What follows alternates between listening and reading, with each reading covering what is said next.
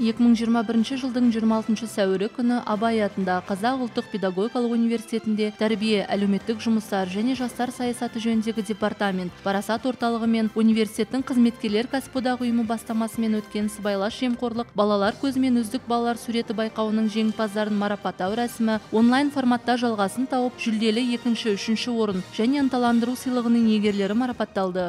Марапаттау рәсімін тәрбие әлеуметтік жұмыстар және жастар саясаты жөніндегі департамент директоры қазына бекпенбетова ашып байқауға қатысушылардың жұмыстарын бағалау барысына тоқталып өтті. Одан ары байқау жеңімпаздарын марапаттап барлық қатысушылар мен ата аналарға алғысын жеткізді.